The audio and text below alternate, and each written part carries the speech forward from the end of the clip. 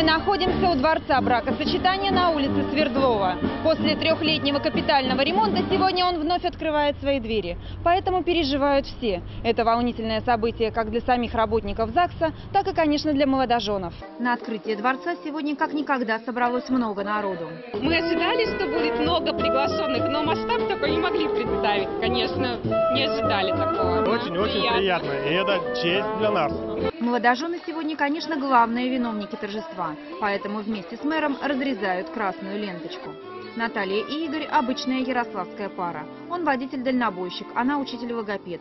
Их случайное знакомство привело к свадьбе. Проезжал перекресток, увидал свою будущую жену прямо на перекрестке.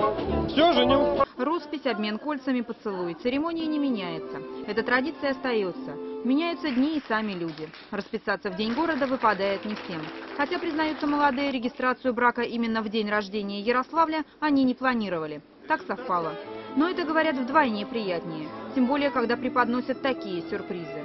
Был холост я и жил ей-богу, как дурак теперь, не то имею дом и свой очаг, жена, она, одна от Бога мне дана, и с ней одно или счастье и покой. А всем гостям на память об открытии дворца и первой церемонии маленькие сувениры. Финальный аккорд торжества – белые голуби, которых выпускают в небо на счастье.